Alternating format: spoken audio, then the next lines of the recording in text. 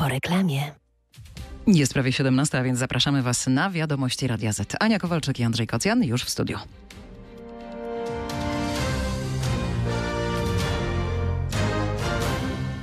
Złodzieje, tak krzyczeli do rządu samorządowcy w Warszawie. Protestowali przeciwko drożyźnie i podwyżkom cen prądu. Jest reakcja wiceszefa MSWiA. A gościem Radia Z będzie za chwilę prezydent Radomia Radosław Witkowski. Słowa uznania płyną z Polski dla Komitetu Noblowskiego. Za wybór tegorocznych laureatów pokojowego Nobla.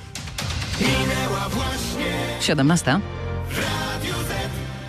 Ten dzisiejszy protest nie miał nic wspólnego z propozycją rozwiązania problemów, mówi wiceminister spraw wewnętrznych i administracji Paweł Szefernaker. A komentuje w ten sposób demonstracje prezydentów miast i burmistrzów przed Sejmem i kancelarią premiera. Samorządowcy protestowali przeciwko wielkim podwyżkom cen prądu. Ci, którzy dzisiaj dotarli pod kancelarię premiera, tutaj po drugiej stronie ulicy wykrzyczeli postulaty polityczne, postulaty związane ze zmianą władzy, y, antyrządowe. Nie było żadnej, żadnego listu do premiera, nie było żadnego listu do rządu, żadnych propozycji rozwiązania problemu. Szefernaker to wiceminister odpowiedzialny za kontakty z samorządami. Białoruski opozycjonista Aleś Bialacki, Rosyjskie Stowarzyszenie Memoriał oraz Ukraińskie Centrum Wolności Obywatelskich laureatami pokojowej Nagrody Nobla. To bardzo wyraźny sygnał dla reżimów, że świat potępia łamanie praw człowieka, komentuje dr Justyna Nakonieczna-Bartosiewicz z Uniwersytetu Warszawskiego. że świat nie zapomina o tych ludziach, że jednostka jednak się liczy, że organizacje się liczą, że społeczeństwo obywatelskie się liczy i że nie jest tylko siła i przemoc, że są właśnie inne wartości, które są doceniane, bo one są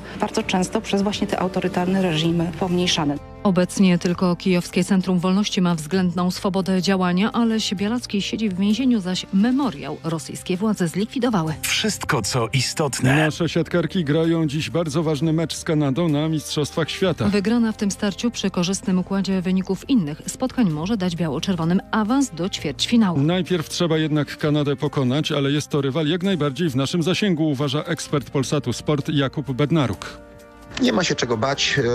E, Zespół grający na dwie zawodniczki, Van Ryk i Gray. Czy powinniśmy na nie uważać? Tak. E, Przegrywały 2-0 z Niemkami i wyciągnęły na 3-2. W ostatnim meczu Turcja się z nimi męczyła. Co prawda wygrała 3-0, ale to nie jest poziom zbliżony nawet do Amerykanek czy do Serbek. Polki z Kanadyjkami zagrają o 20.30. A teraz popołudniowa rozmowa Radia Z. W studiu Beata Lubecka. I gość Radia Z po południu, Radosław e, Witkowski, prezydent e, Radomia, Platforma Obywatelska. Dowiaduje się właśnie, że no niemalże od samego początku istnienia tej partii jest pan w tej partii. Dzień dobry. Dzień dobry, witam serdecznie. No a dzisiaj był pan przed Sejmem jako mm, jeden z wielu samorządowców, którzy przyjechaliście do Warszawy protestować przeciwko tym gigantycznym, e, gigantycznym podwyżkom cen energii, ale nie tylko. Chodzi również o rosnące w tempie galopującym koszty życia. No i co? E, To protest polityczny, powiedział wiceminister e, spraw wewnętrznych administracji. Mm, Paweł Szefernaker, bo czekał na was w kancelarii premiera, czekał aż przyniesiecie jakąś petycję, że przyniesiecie jakiś e, plan naprawczy, jak sobie z tym wszystkim poradzić, a co? Usłyszał ha hasła antyrządowe. To był proces, protest e, samorządowy, ale on wynikał wprost z tych ofert, jakie, tych niemoralnych ofert, jakie składają nam koncerny państwowe, odpowiadając na nasze, e, na nasze przetargi. No ja mogę mówić i chcę mówić o Radomiu, więc my otrzymaliśmy ofertę o 750% wyższą niż w roku 2021. 750 czy 900? 750%, natomiast cała oferta była 9 razy y, wyższa, więc to wszystko zależy, czy będziemy y, te składniki y, rozkładać. Natomiast odnosząc się wprost do kilowatogodziny, to jest 750% wyższa, tak? Od 36 groszy do 2600 groszy i tak wyjdzie 750%. No bo Donald Tusk wychodził, mówił, że 900%. E, Pani podwyżki redaktor, e, wynoszą więc, e, ale, ale pani pyta prezydenta Radosława Witkowskiego i prezydent Radosław A, Witkowski rozumiem, czyli- odpowiada. No to jest informacja z pierwszej ręki. No dobrze, to proszę się odnieść do tego y, zarzutu, że jest to protest polityczny. To był protest samorządowy. Ja tam polityków nie widziałem, więc yy, samorządowcy to też politycy. Po, więc, e, panie redaktor, ale odno, od, odnieśmy się tylko i wyłącznie do meritum tego. Więc yy, pe- petycję, która została zgłoszona do marszałka Sejmu i marszałka Senatu i wprost tam prosiliśmy o to, aby yy, powściągnąć te niemoralne propozycje i te apetyty yy, spółek państwowych, koncernów państwowych, które chcą napchać kosztem samorządów i mieszkańców, e, mieszkańców takich miast jak Radom kieszenie, że dziś oferta mówiąca o tym, że mamy płacić e, 7, 8, 9 czy 10 razy więcej za energię elektryczną, jest ofertą niemoralną i zwracaliśmy uwagę, żeby właśnie marszałek Sejmu i marszałek Senatu mm, odniósł się do tego i mm, powziął jakieś działania, żeby koncerny państwowe wreszcie składały oferty takie, jak e, wynikają z kosztów produkcji energii elektrycznej. Ale dlaczego y, zwróciliście się do marszałek Sejmu i do, do marszałka Senatu? A dlaczego nie? No przecież to wszystkie raczej y, Znaczy, premier, wicepremier, no przepraszam, kto zawiaduje Ministerstwem Aktywów Państwowych? No wicepremier Sasin. No dobrze, panie redaktor, oczywiście mamy coś takiego jak Komisję Wspólną Rządu i Samorządu i podczas y, posiedzenia tego gremium y, my wprost artykułujemy, jakie są nasze oczekiwania, ale y, jeśli już y, okazuje się, że to, o czym rozmawiamy z, jako korporacja samorządowa z przedstawicielami rządu nie odnosi skutków, no to wychodzimy na ulicę i wprost mówimy, co nas boli i co przede wszystkim może, e, może dotknąć nie tylko mnie jako prezydenta czy moich kolegów, tylko wszystkich mieszkańców Radomia i miast takich jak Łódź, z, z, którego pani redaktor pochodzi. O czym panu opowiedziałam też przed, naszą, tak przed jest. naszą rozmową. No ale to był, jest protest polityczny, był protest polityczny czy nie? Protest samorządowy zwracający uwagę na zło, złe działanie spółek e, Skarbu Państwa, które chcą złupić, mówiąc wprost, chcą złupić e, kieszenie Polaków e, niemoralnymi ofertami, które składają za e, energię elektryczną. Ale tak się składa, że wśród tych samorządowców to akurat byli ci, którzy powiedzmy są kojarzeni z opozycją, czy też wprost y, są w partiach, które teraz y, zasiadają w ławach opozycji. Ale jakie to ma dzisiaj znaczenie, jeśli, y, pani redaktor, ja przyjmując taką ofertę spółki Enea, musiałbym, nie wiem, zamknąć połowę szkół, żłobki, czy też wprowadzić, że Radomski Szpital Specjalistyczny będzie pracował od poniedziałku do środy. Jaki to ma znaczenie? Kto, jaką ma legitymację partyjną? Proszę mi powiedzieć, czy dla mieszkańca, któremu będziemy musieli odmawiać y, na przykład, y, albo będziemy ograniczać pracę szkół, to ten y, mieszkaniec Radomia przyjdzie i zapyta, panie prezydencie, kto jaką ma legitymację partyjną? No wątpię. Tutaj kilka dni temu na pana miejscu siedział Marek Suski, znany, pan, znany zapewne panu, wiceszef klubu PiSu. Zresztą no, z Radom, znaczy tu jego okręg wyborczy do Radom i twierdzi, że to pana wina. No więc proszę popatrzeć i posłuchać. Prezydent Radomia niespecjalnie dba o oszczędności. A przypominam sobie, kiedy Enea propozycję złożyła bardzo szczodrą prezydentowi Radomia, że wybuduje za własne pieniądze nowoczesne ogniwo kogeneracyjne, żeby był i prąd, i ciepło. I prezydent odmówił, a dzisiaj no, ma problem. Szuka pieniędzy na modernizację starych piecy, które no, już za chwilę pewnie będą musiały być wycofane. No i według Marka Słupskiego to, to pana wina jest, to pan pokpił sprawę, to pan jest kiepskim gospodarzem Radomia. To zanim do meritum, to tak jak e, wysłuchaliśmy i mieliśmy okazję obejrzeć tę wypowiedź, to mam wrażenie, że e, poseł Suski jeszcze mentalnie jest e, w półtusku na tym posiedzeniu, gdzie to dobre win, było dobre wino, śpiew i, i, i tańce. I jeszcze, Wino i śpiew. I chyba, chyba, I chyba jeszcze to wino e, pana posła Marka Suskiego trzyma tak mocno, bo to wypowiedź sprzed e, kilku dni. Więc no, przede wszystkim apel do pana posła Suskiego, żeby nie tylko fizycznie, ale również mentalnie wrócił już z Półtuska do Warszawy, Grójca czy Radomia i rozpoczął swoją normalną pracę.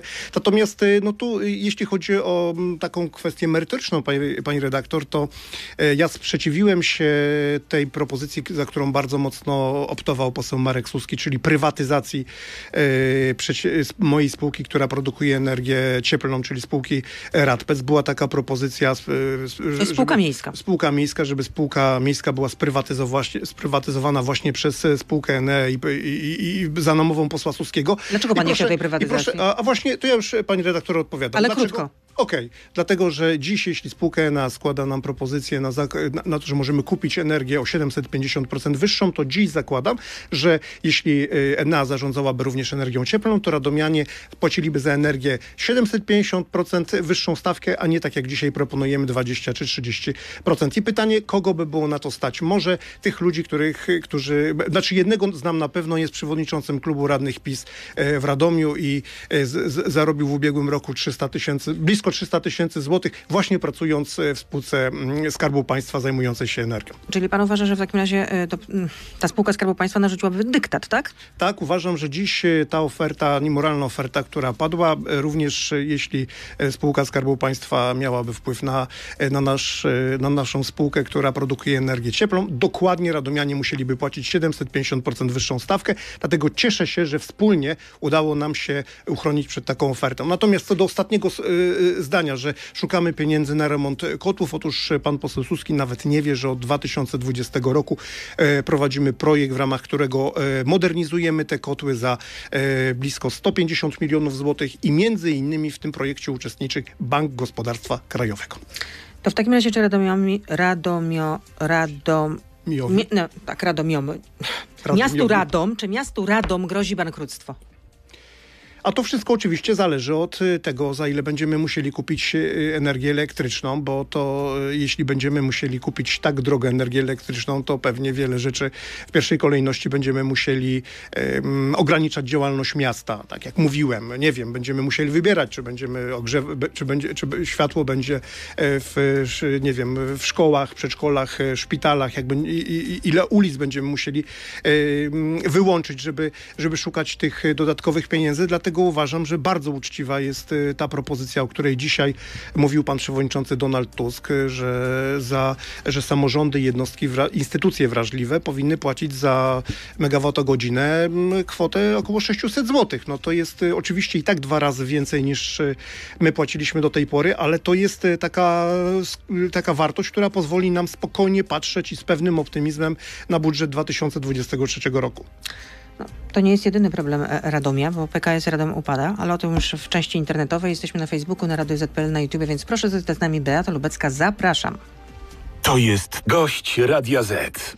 Przypomnę, że gościem Radia Z jest e, prezydent Radomia, Radosław Witkowski, ale jeszcze zanim zapytam o ten upadek PKS-u Radom, to jeszcze chciałabym dopytać o to, ponieważ nie wiem, czy pan wie, pewnie pan wie, że ym, pana poprzednik z Prawa i Sprawiedliwości, Andrzej Kosztowniak, który teraz jest posłem, kiedyś pan był posłem, teraz on jest posłem, że, e, napisał na Facebooku, że do Radomia ze środków rządowych trafi pra- ponad 38 milionów złotych w trzech transzach i że pierwsza miała dziś e, powędrować właśnie na zabezpieczenie energetyczne. Zaglądał pan już na konto miasta? Tak, Widzi pan już te, e, te 12 milionów, bo to miała być pierwsza zaglądałem, tak transza? zaglądałem i te pieniądze dzisiaj do nas dotarły, czyli to jest, y, to jest akurat prawda.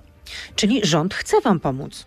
Panie redaktor, ale teraz tak, jeśli od 2019 roku w wyniku zmian w, w podatkach i w systemie finansowania samorządów e, ubyło nam, tak szacujemy, między 120 a 160 milionów złotych i w to miejsce otrzymujemy 38, czyli po- powiedzmy na okrągło blisko 40, czyli ta strata została przez rząd pokryta tylko i wyłącznie w, w no szacuję w okolicach 40%, więc e, nie ma się z czego cieszyć oczywiście. Ale to będzie koło ratunkowe, czy nie będzie? Nie, no oczywiście, że każdy grosz e, się liczy i my hołdujemy prostej zasadzie, że e, sięgamy po wszystkie pieniądze zewnętrzne, które możemy mm, zdobyć i, i, i oczywiście mm, cieszy mnie, to mogę powiedzieć tak, cieszy mnie oczywiście ten przelew i te dwa kolejne, które e, dotrą do nas e, do końca roku. Ale Natomiast rozumiem, że to jest zasługa posła y, Kosztowniaka, tak? No to jest y, pewnie, trudno powiedzieć, czy to jest zasługa. No jeśli ktoś, pani redaktor, by z konta mm, wziął sobie 100 zł, a oddał 40 zł, to była, byłaby pani szczęśliwa? Czyja byłaby to zasługa? No już następnym razem takiej osobie bym nie pożyczyła pieniędzy. No nie więc- na pewno. No więc tak, no więc tak, no więc tak wygląda. Natomiast y, y, ja też cieszę się, że y, zmienia się podatek dochodowy od osób fizycznych i płacimy coraz mniej y, jako, jako, jako, jako Polacy. Natomiast no, została zachwiana i zaburzona mm, ta zasada, że jeśli samorządom z tego powodu, że Polacy mają mieć więcej pieniędzy w kieszeniach, z, z, po, powiedzmy z tytułu obniżenia podatków y, i sa, samorządom ubywa, no to powinniśmy otrzymywać rekompensaty. Cieszy ta y, część rekompensaty. Mam nadzieję, że będzie tego więcej. Czy rozumiem, że te pieniądze pójdą na to, żeby zapłacić za energię? To- Spółce Skarbu Państwa. Y, To są pieniądze, które mm, wy, wy, wydamy na wszystkie wydatki, y, znaczy, które mm, będą finansowały nasze wydatki y, bieżące, nie tylko energii, ale również wypłaty dla mm, pracowników. Będziemy płacić pracownikom oświaty. No to są pieniądze potrzebne do tego, żeby miasto funkcjonowało. A czego konkretnie oczekiwa, ocze- oczekiwalibyście od władzy? No my jako, jako Związek Miast Polskich ja, jasno zgłaszamy postulat. y, Akurat trzeba- jeśli chodzi o cenę energii. Jeśli chodzi o cenę energii, to co powiedziałem e, kilkanaście minut temu, uważam, że mm, uczciwa e, cena za megawattogodzinę Tusk, tak? to jest około sze- sze- 600 zł. Zresztą e, nie wiem, czy pani pamięta, pani redaktor, ale tydzień temu w piątek albo dwa tygodnie temu minister Sasin mówiąc o założeniach do specustawy też wskazał na kwotę dla instytucji wrażliwych i samorządów w wysokości około 614 zł za megawattogodzinę, czyli to jest, to są, to są real, to jest realna wartość megawattogodziny, a nie 2600, jak chciała od nas, e, od, ode mnie, od prezydenta i od Radomian spółka. No ale pan e, tutaj mówi, że mm, niekoniecznie ta pomoc od rządu, jeśli chodzi o pomoc dla samorządów, no nie jest wystarczająca, no ale ja słyszałam wypowiedź pana premiera, który mówi, że po prostu no absolutnie pomagali wam. Tak jak powinni.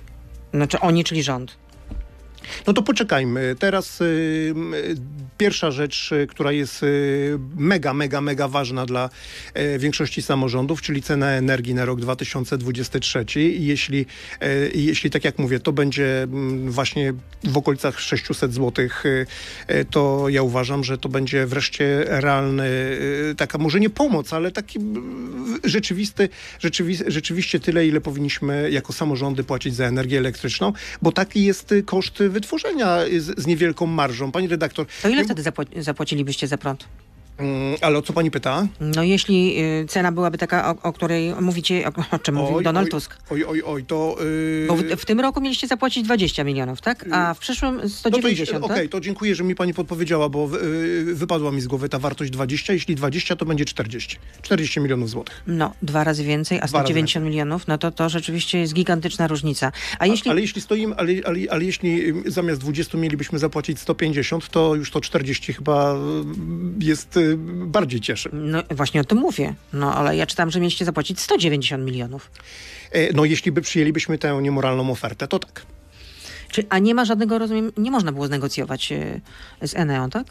Nie, nie, pani redaktor, no nas o, o, zobowią- obowiązuje prawo zamówień publicznych i przetarg, więc tutaj nie ma żadnych negocjacji, tylko jest y, y, oferta, którą albo przyjmujemy, albo nie przyjmujemy. My jej nie przyjęliśmy, ja ten przetarg unieważniłem, czekając właśnie na specustawę. Zresztą nie, nie jestem wyjątkiem.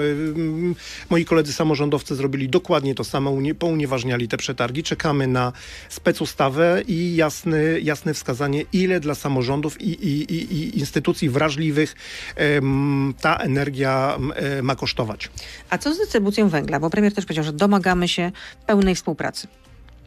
Ale żeby samorządy zaangażowały się również w dostarczaniu węgla dla e, mieszkańców, dla swoich mieszkańców. E, Szybko odpowiedziałem na tę ofertę. E, Przygotowaliśmy odpowiedni plac utwardzony, z odpowiednim dojazdem, ogrodzony, w którym możemy, który możemy zaproponować. I zresztą zaproponowałem spółce Skarbu Państwa. Jest u nas w Radomiu jedna ze spółek właśnie koncernu Enea, która może to robić. To są firmy, które mają odpowiednie koncesje.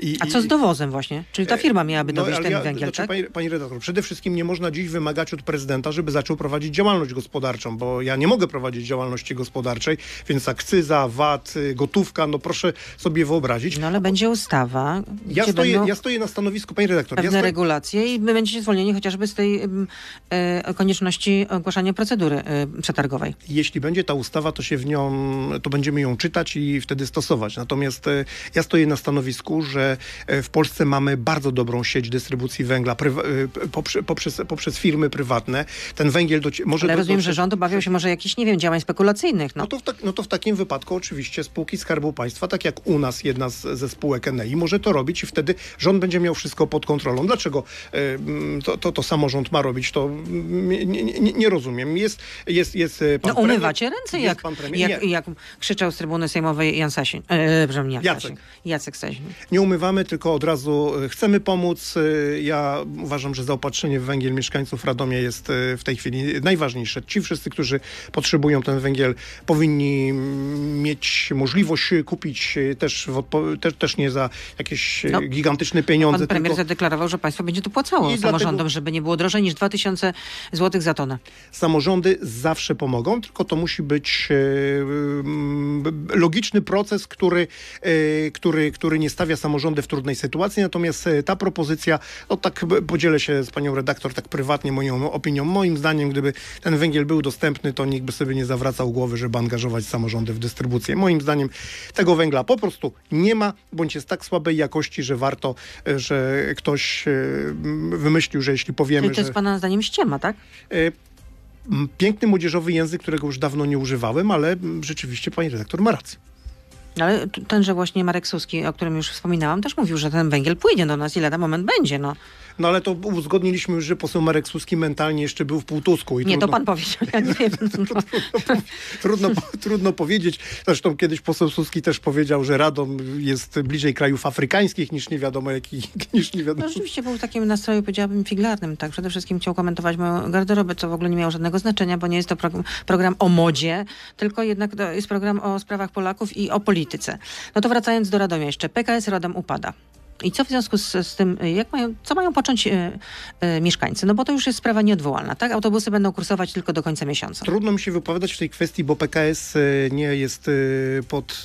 Nie zarządzam, nie zarządzałem PKS-em Radom. To jest firma, którą zarządzało, zarządzała wspólnota gminna mm, gmin ościennych, więc nie znam sytuacji. Rzeczywiście boleję nad tym, bo to przede wszystkim 80 osób straciło już pracę i to jest pewnie ten problem, który też dotknie mm, prezydenta, bo to nie tylko mieszkańcy e, e, nie, nie stracili pracy tylko ludzie spoza Radomia, ale również radomianie, więc to jest w tej chwili problem i wyzwanie, bo trzeba będzie zagospodarować e, tych ludzi. Mam nadzieję, że Powiatowy Urząd Pracy i, i Ministerstwo Pracy ma jakiś e, pomysł na to, jak właśnie w tej sytu, trudnej sytuacji, kiedy firmy upadają, a upada ich coraz więcej, będą tracili pracę. Nie ma, myślę, że nasz... Czyli pan jako prezydent nie może w tej sprawie zrobić nic. Nie, jeśli chodzi o firmę, to nie, bo to nie jest e, firma, znaczy to, ta firma nawet chyba nie była zarejestrowana w Radomiu, z tego co pamiętam. Ale jak ludzie mają dojeżdżać teraz na przykład do pracy?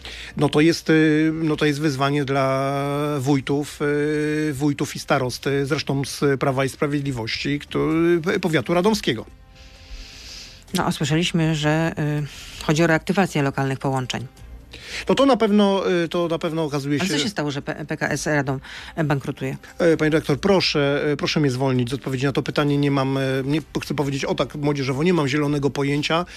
Nie miałem okazji zapoznać się z dokumentacją PKS-u. Tak jak mówię, to nie jest spółka, która, którą zarządzam albo mam jakikolwiek wpływ na to. No, ceny energii, ceny prądu są horrendalnie wysokie, przynajmniej na razie, ale za to w Radomiu będzie ciepło, rozumiem, tak?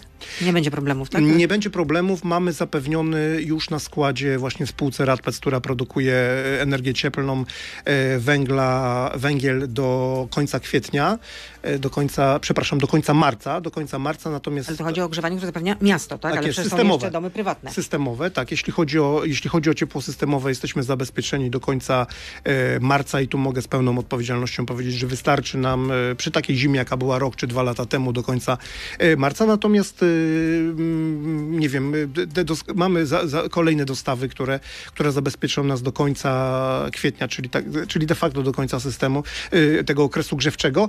Więc e, mogę mieszkańców Radomia uspokoić. Zresztą uspokajałem kilka, kilka dni temu na lokalnej konferencji prasowej, że, że jeśli chodzi o ciepło systemowe, e, to nie ma żadnego problemu i szkoły też będą ogrzewane w, odpowiednim standardzie, bo bardzo mi zależy, żeby dzieci i radomska młodzież miała odpowiedni komfort, luksus do tego, aby się uczyć. Czyli zarządy komisaryczne tym szkołom nie grożą, jak mówił pan minister Pan Czarnek. minister mówił o zarządzie komisarycznym dla miasta. Dla miasta, tak, za miasta, tak, tak. E, Dobrze mnie pan poprawił. A dlaczego nie było pana na otwarciu lotniska w Radomiu? Nie był pan zaproszony?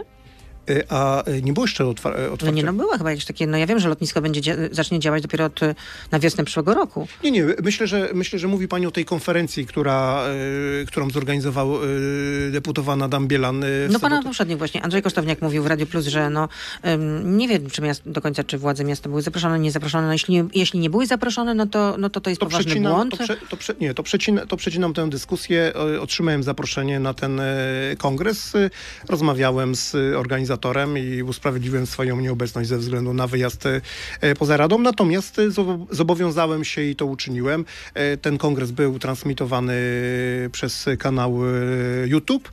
E, I e, co ciekawsze panele ja i moi współpracownicy odświeżyliśmy i odsłuchaliśmy.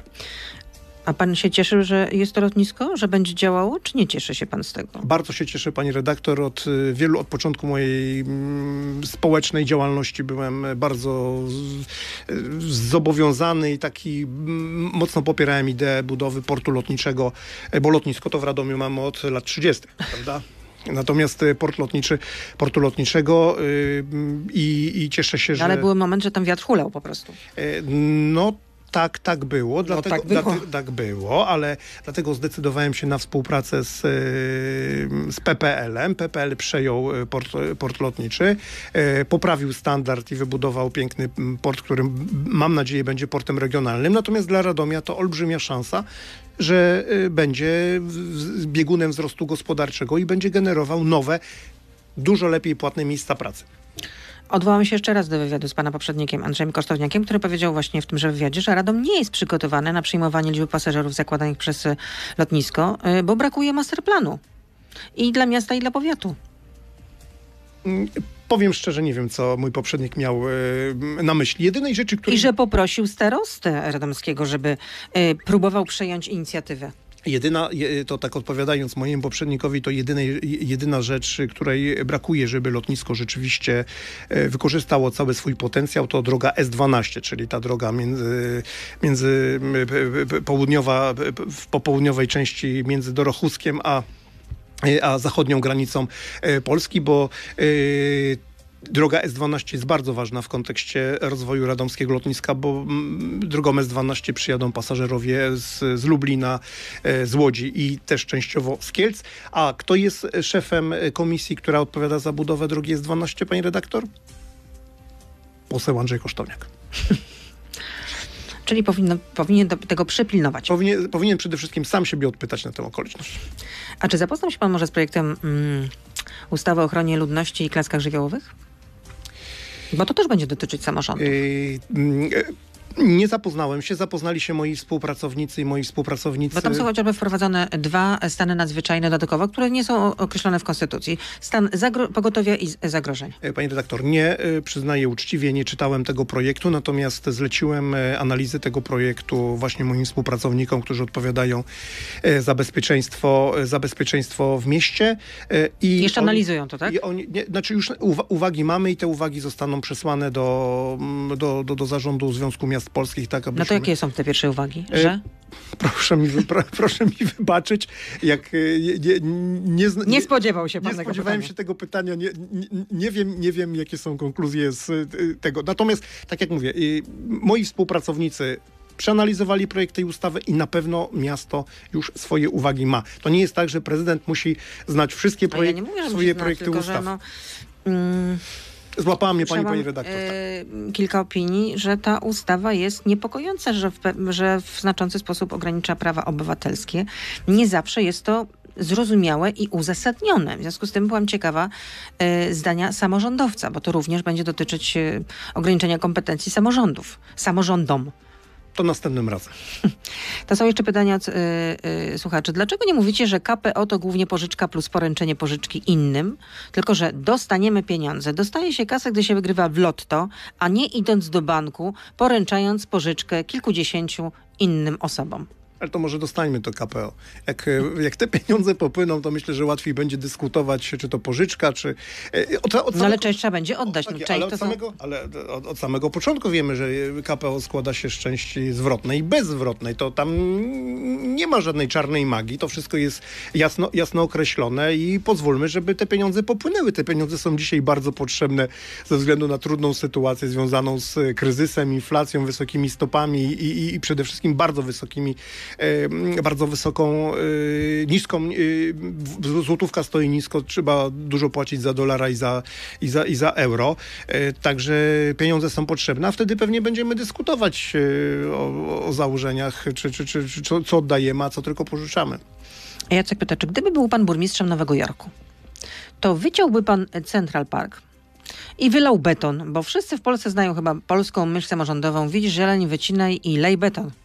Nie byłem w Nowym Jorku, nie widziałem Central Parku na żywo, widziałem tylko w, w, w filmach i na, na zdjęciach. No wygląda imponująco. Imponują, imponująco wygląda i to jest taka zielona część Manhattanu, więc... No takie płuca no- Nowego Jorku. E, Więc, więc, więc rzeczywiście, e, więc rzeczywiście, e, pani redaktor, e, e, tak, może rzeczywiście mm, jest trochę za dużo betonozy, no ale to jest, e, ta dyskusja myślę, że prowadzi, e, prowadzi w tym kierunku, że ten wektor się, e, wektor się mm, odwróci w tej chwili będziemy częściej myśleć o, e, o tym, żeby było zielono. Ja na przykład... e, A w jak Radomiu jest dużo betonozy?